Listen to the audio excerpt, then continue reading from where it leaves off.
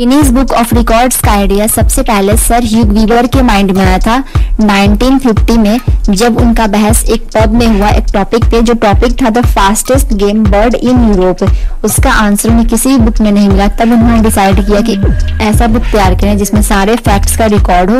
और किसी को भी उसका आंसर ढूँढने में आसानी हो, ताकि दोबारा ऐसा आर्गूमेंट ना हो जैसा उनके साथ हुआ था। तो ये जानकारी आपको कैसे लगी, मुझे कमेंट सेक्शन में ज़रूर बताएँ। Thanks for watching